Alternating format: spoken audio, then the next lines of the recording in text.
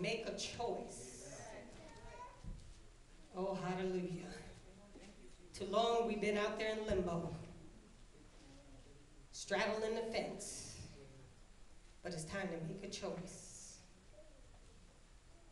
Amen.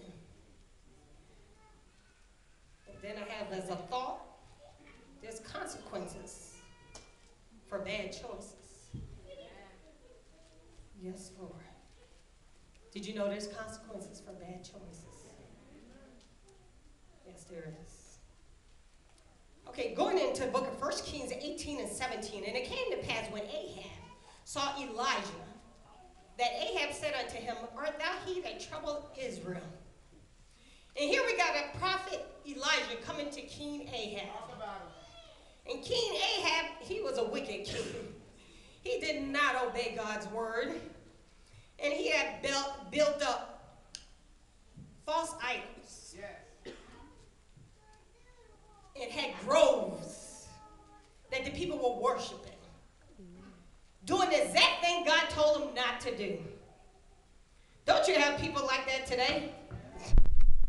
Right. Don't you have people like that today?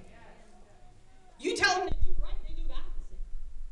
Don't you have children like that? You tell them don't go there, and they, they do the opposite of what you tell them to do. They do it because you told them not to do. It's called the spirit of rebellion. The spirit of rebellion. And King Ahab was very rebellious against the word of God. So God sent the prophet Elijah. Because sometimes God got to make a point. Sometimes you can tell people this, that, that, this, that, and they still don't believe.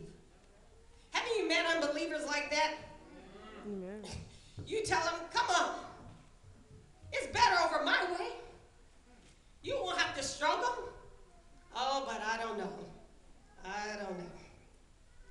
Eh. but they let the devil ride. And they let him drive. And they stay on the other side.